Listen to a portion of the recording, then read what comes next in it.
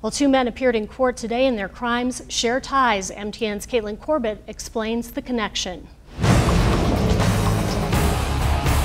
I'm here at the Gallatin County Law and Justice Center where two men appeared on different charges.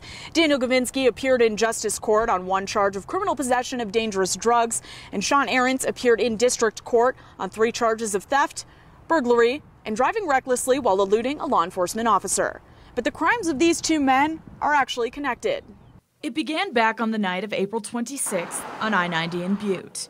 Butte Silver Bow law enforcement was alerted to a vehicle that had been involved in possession of stolen firearms and ammunition.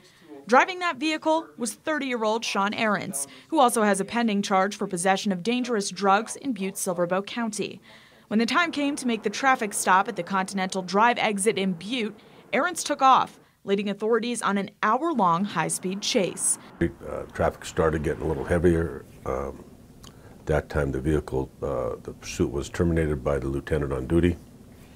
Um, momentary, moments later, we located the vehicle parked on uh, Jackson Street, just south of Park Street. Inside, authorities found firearms and ammunition, along with other stolen gear, enough for warrants for criminal endangerment, theft, and elusion issued in Arrants' name. The search for Arrants picked up almost two weeks later on May 7th, and here's where Gavinsky comes in. Authorities received a tip that Arrants was driving a vehicle near Whitehall. That vehicle is registered to 40 year old Gavinsky.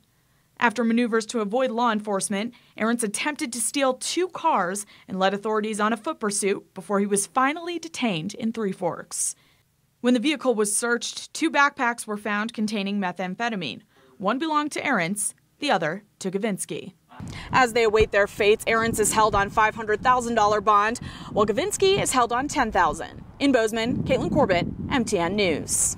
All right, thank you, Caitlin. Arrants has charges in Gallatin County for felony assault and strangulation of a partner or family member. Gavinsky has previous convictions for possession of dangerous drugs. Switching gears to the west.